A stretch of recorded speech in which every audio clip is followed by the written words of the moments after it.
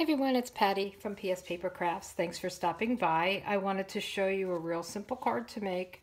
Um, I made this using the Share What You Love part of that suite.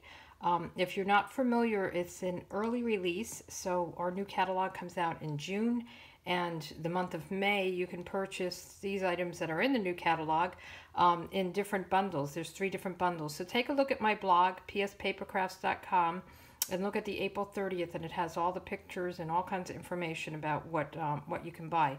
But this is the stamp set for Share What You Love or Share What You Love is the suite and then this is Love What You Do.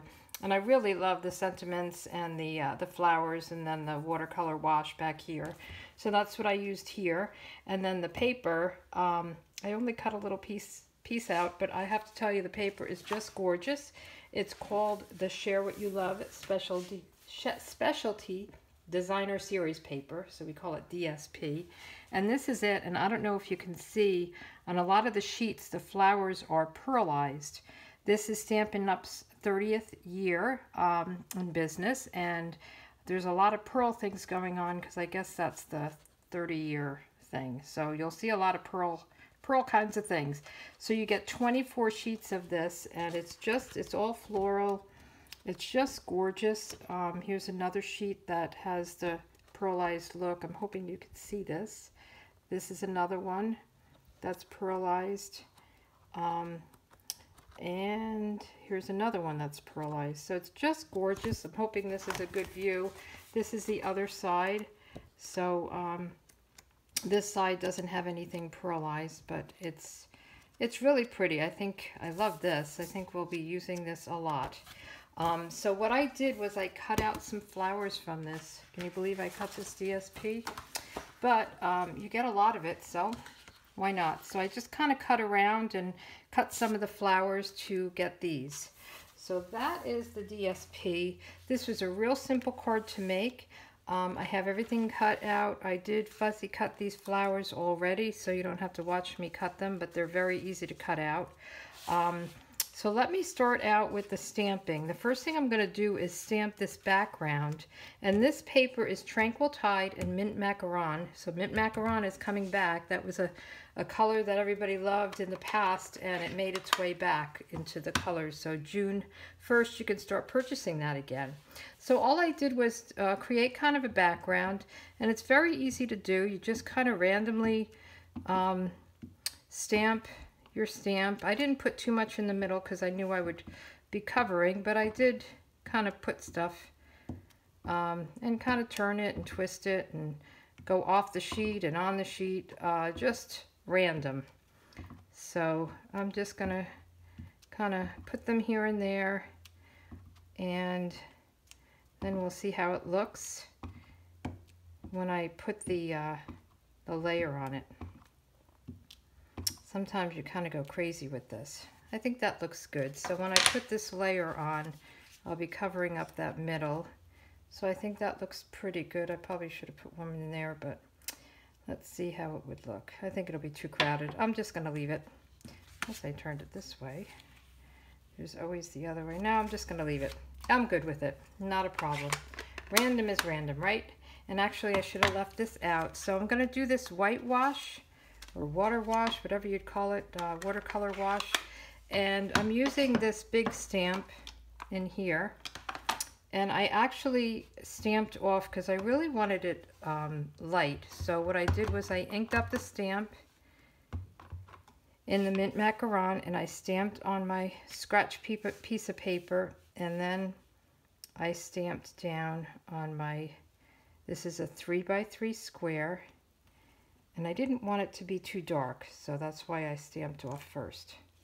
Okay, and then I think, well, let me show you the inside while we have the mint macaron out.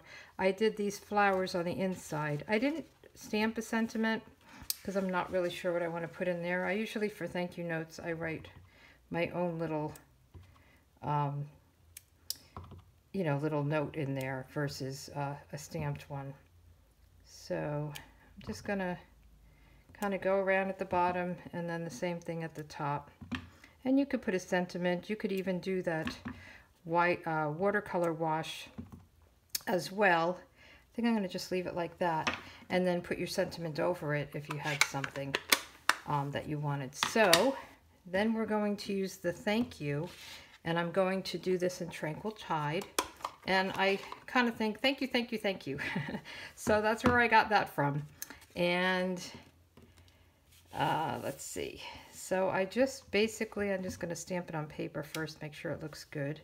So I just started at the top and just eyeballed it. There's nothing magic here.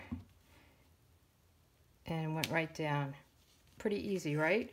So that's all we need with the Tranquil Tide. And then I will put this together. Let me get my snail. I'm going to put the inside in first.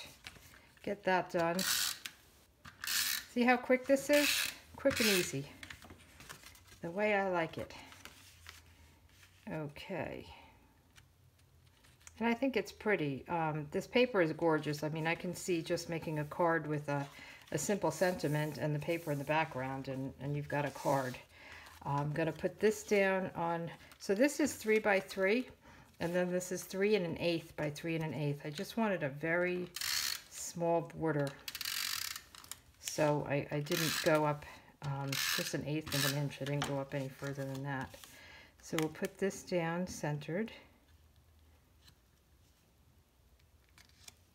Okay. And then I popped, well, let me put this down first, and then I popped up the uh, the 3 by 3 with um, dimensionals just to give it a little dimension.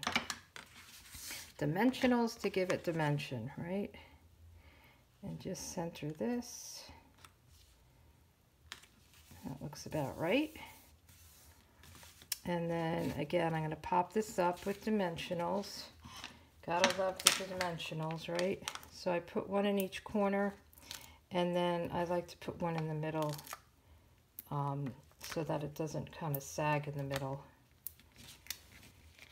So I just take the release paper off of that. Excuse my fingers, I, I stuck my fingernail on my thumb in um, a dark ink by accident and it's just, I don't know, kind of ugly.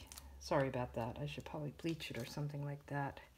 So I'm going to just put this like that. I mean, that's just pretty on its own. And then I took the flowers and I put this down with snail. I'm sorry, I keep hitting the camera. Stop shaking. Sorry if I'm making you dizzy there. And I just put this down right here. And then this one, I, um, let's see, I put one up, I think I put a dimensional on the back of this one, right in the center.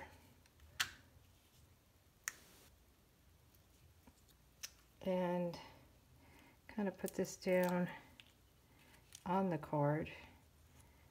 Let's see. I think I want this one hidden. And put it down so it would be equal in height with that one. And then this one, I put a dimensional on a leaf and I put some snail up the top. Kind of like a, a little bit of each. And I actually took a, a little dimensional, like a the end. So let me just cut into this. So you could do a half dimensional or a mini dimensional. And I'm just going to put that on one of the leaves below just to secure it at the height that I want.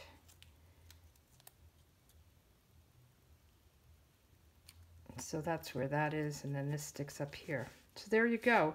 Oh, and let me uh, not forget these pearl little, um, what are they called? They're uh, Share What You Love Artisan Pearls. And they're really beautiful. So I put three of them in there. So let me just do that. Um, I'm thinking this is the right color. It's not really the same color as the flowers, but it goes with the mint macaron and the tranquil tide. So I thought these were really pretty. And just gives it a little bit of bling. So there you go. Thought it came out really well. It's um, very simple to do. So I hope you um, like this video, give me a thumbs up if you did, and if you're interested in any of the Share What You Love, just check out my blog post um, April 30th, pspapercrafts.com, And you can comment if you have any questions or email me, patti at pspapercrafts.com, um, or you can place an order right at my blog. There's an online store and you can click on any of these products. Okay? You have a good day. Thanks for stopping by. Bye.